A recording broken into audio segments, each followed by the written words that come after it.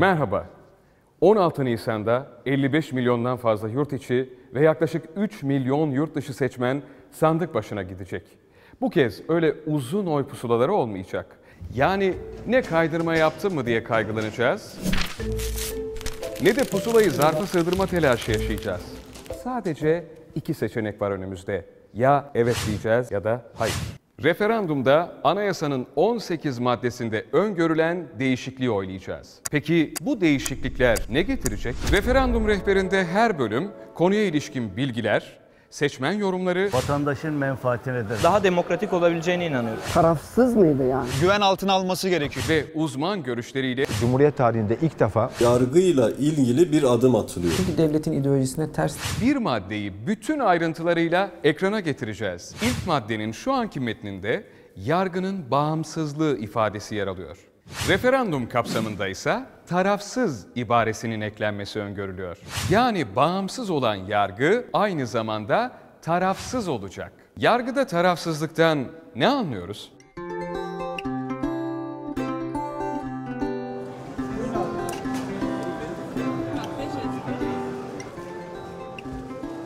Vatandaşın hakkını, hukukunu savunma açısından o yargı biriminin tarafsız olması vatandaşın menfaatinedir. Devletin, sistemin, hukukun bizi gü- güven altına alması gerekiyor. Yeni sistemle birlikte yargılanmanın daha demokratik olabileceğine inanıyorum. İsterseniz tarafsız deyin, isterseniz eşit haklar deyin. Önemli olan bunun yargı yürütme aşamasında gerçekleştirilmesi. Mahkeme başkanına deniliyor ki senin bir fikrin olabilir, sen bir tarafın olabilir, bir siyasi görüşün olabilir, bir ideolojin olabilir. Ama mahkemeye girdiğin an tarafsız olmak zorundasın. Seçilmiş hükümet ve seçilmiş meclis üzerinden yargı idare kurulu oluşturularak millet adına karar veren yargının ilk defa bütün demokratik ülkelerde olduğu gibi milletle bağı kurulmuş oluyor. Peki mevcut anayasadaki maddeyle ilgili değişikliğe neden ihtiyaç duyuldu? Devletin ideolojisi olmaz. Devletin ideolojisi olursa mahkemenin de ideolojisi olur. Eskiden Türkiye'de devletin ideolojisi vardı ve dolayısıyla mahkemelerin de ideolojisi vardı. Mesela eskiden biz mahkemelere çıkardık. Mahkemeleri mesela ben gümüş yüzük takmazdım. Çünkü yargıçların ne olduğunu biliyordum. Şey olur, fanatik olur. Ona göre kararlarda etkili olabilir diye ben yüzüğümü takmazdım. Konuyu biraz daha çalış. İnsanlar yargılama sürecinde sanık sandalyesinde sakalıyla o duramıyordu ya da gümüş yüzükle duramıyordu. Çünkü devletin ideolojisine tersti bir zamanlar. Bütün bunların ortadan kaldırılacağı bir yargı ortamının oluşturulması için bir bilinç inşası oluyor burada.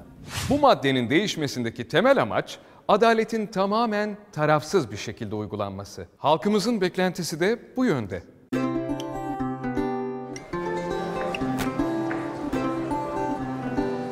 Yargı tarafsız olmalı zaten ki yürüsün. Taraflı olursa geçmişte birçok örnekleri var zaten bunun. FETÖ olayı var. 28 Şubat'ta verilen kararlar tarafsız mıydı yani? Önemli olan düşüncede tarafsızlık, eylemde tarafsızlık. bu eski haksız yere yapılan idamlardan tutun da bir dünya sıkıntıya neden olması engellenecekse ki bu diğer görüşlerin, muhalif seslerinin de seslerini duyurabileceği bir platform haline gelirse yargı bence önemli bir madde.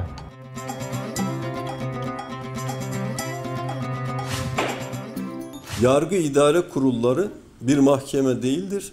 Aynı zamanda idarenin de bir parçası olduğu için e, doğal olarak yürütmenin de yargının da parçası olarak işlev görür.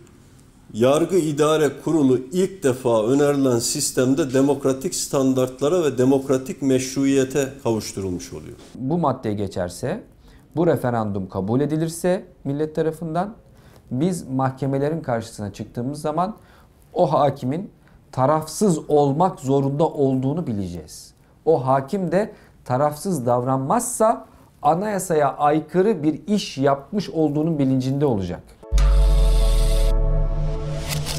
İlk maddeyi anlattık.